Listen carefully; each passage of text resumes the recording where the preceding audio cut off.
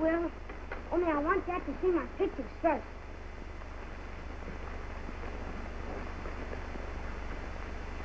Here's the B-17. That's a B-24. And here's the P-38.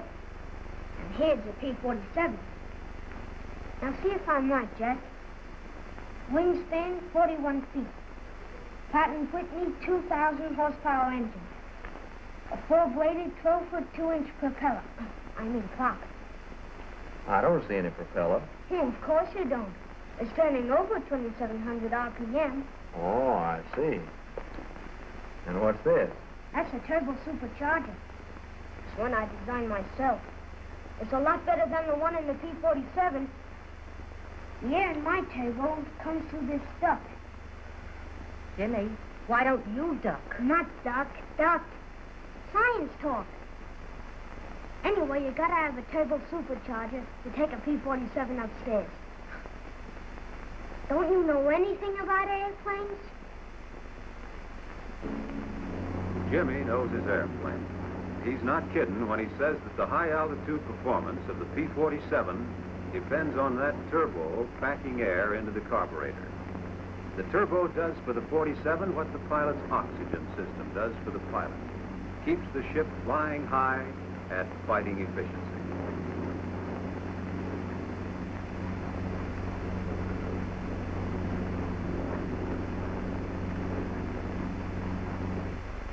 The turbo in your 47 is simple in operation, much simpler than Jimmy's. The actual compressing of air is done back here in the rotor. Exhaust gases turn the bucket wheel, which drives the impeller of the compressor.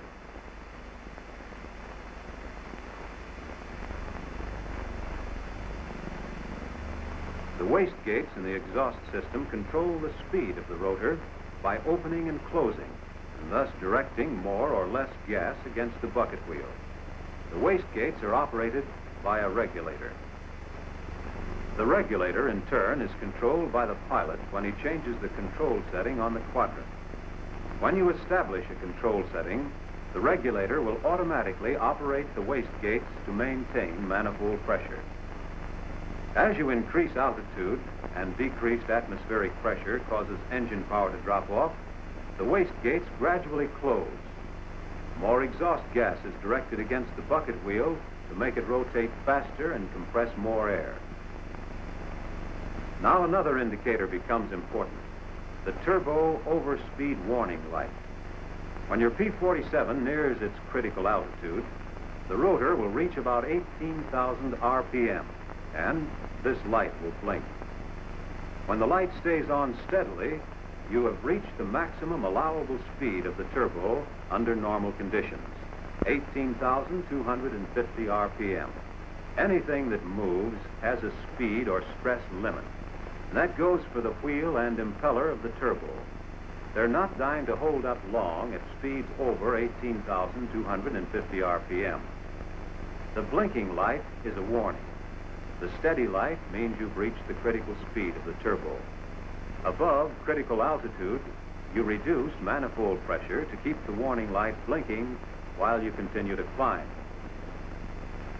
Now, let's watch the controls in relation to a climb.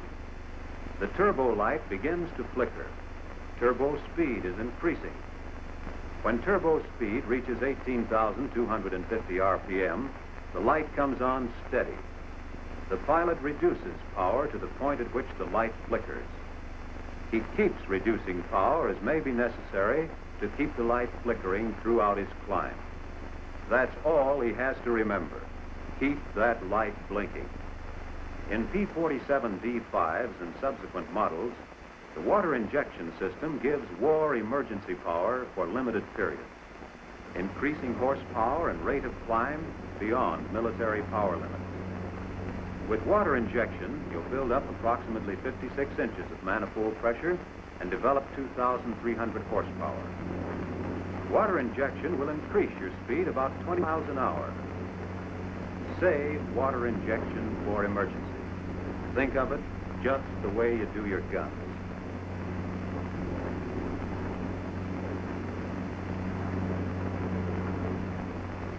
When you start aerobatics in the P-47, remember when you were taking a trainer through these same maneuvers. The P-47 is a bigger, faster, and heavier ship. But you put a 47 through its paces just about as you did your AT-6. There are exceptions, of course, and they're important.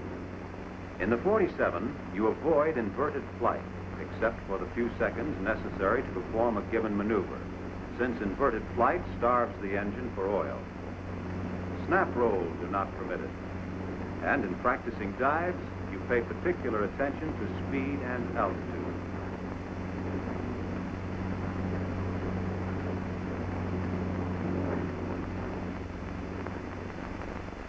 The P-47 can reach a speed of 500 miles per hour indicated from an altitude of 10,000 feet or below. That's to remind you pilots with strong left arms that in the 47 you can lose about 10,000 feet in attaining 500 miles an hour indicated. Better go up higher, around 20,000 feet or above, if you're going to keep, say, a 10,000 foot margin between you and terra firma. At higher altitudes, where the air is thinner, dives should be held to lower indicated air speeds. As the dive chart on your instrument panel will tell you, a safe diving speed of 30 to 35,000 feet is 250 indicated airspeed. At 25 to 30,000, it's 300 indicated. At 20 to 25,000, it's 350.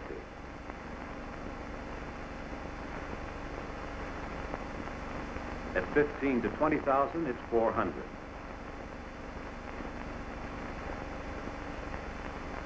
At 10 to 15,000, it's 450. And at sea level to 10,000 feet, it's 500, which you'll remember is not recommended for a steep dive in training. These are speeds at which you'll find handling characteristics of the P-47 to be normal. The P-47 can be pushed into speeds of compressibility where a breakdown of airflow occurs. And under such conditions, you may experience a temporary loss of control until you've dropped to denser air. When you dive the P-47, your cowl flaps should be closed, oil and intercooler shutters in neutral. Your plane is trimmed for level flight. When you come back on the throttle, you'll do it gradually bringing the throttle back just enough to keep from overboosting the engine. In your first dives, take it easy. Get on to this airplane's diving characteristics.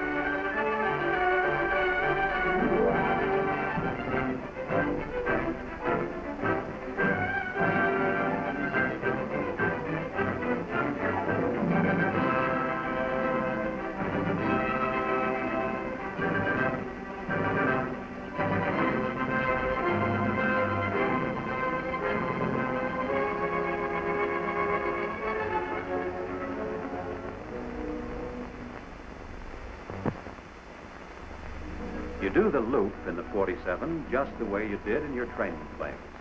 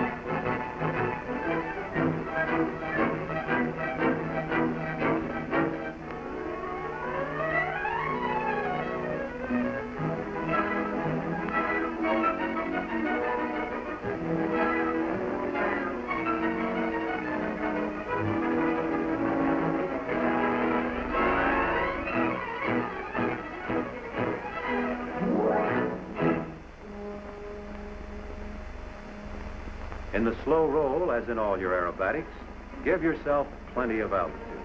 Put the nose on a point and keep her rolling.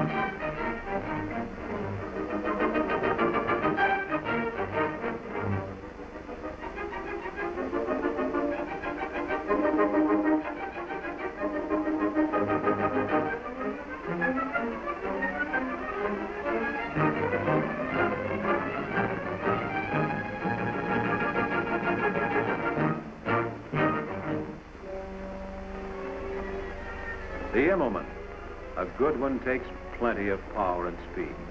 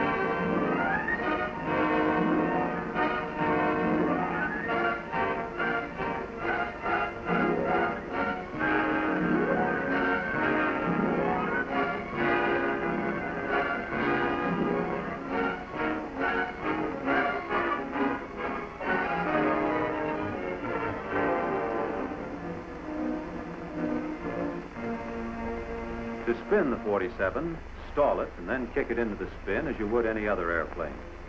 To recover, you'll apply full opposite rudder, neutralize elevators, pull ailerons against the spin, and use power to speed recovery. One turn is all that's recommended. One practice spin is all you need in your training.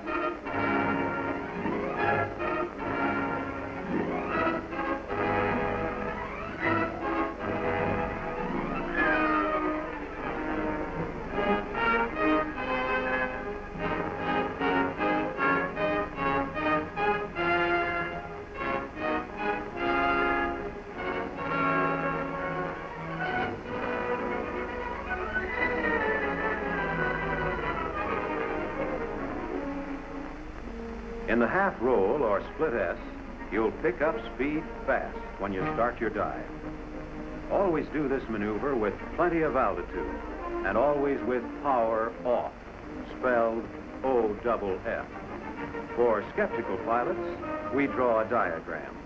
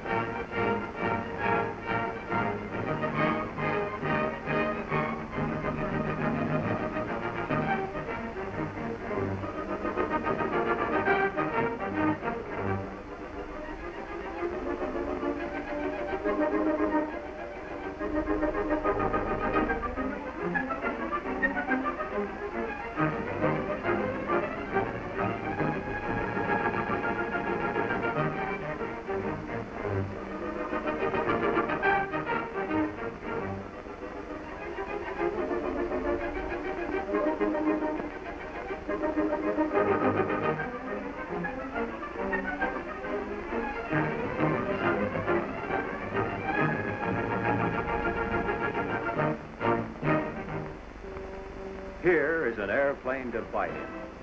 With all its speed and performance, with all its fighting punch, the Thunderbolt handles the way you like 'em. Smooth, quick, sure.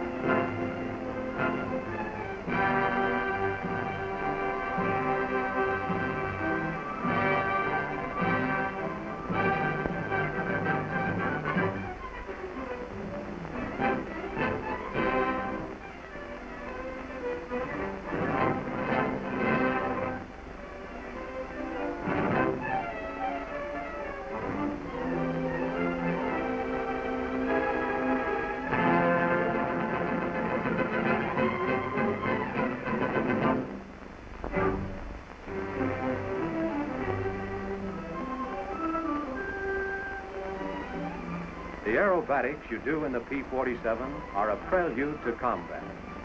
When you're flying the Thunderbolt, you've got an airplane strapped to your pants that's designed to chase the enemy out of the sky. It takes two to do the job, the airplane and the pilot. To pilots of the P-47, good hunting.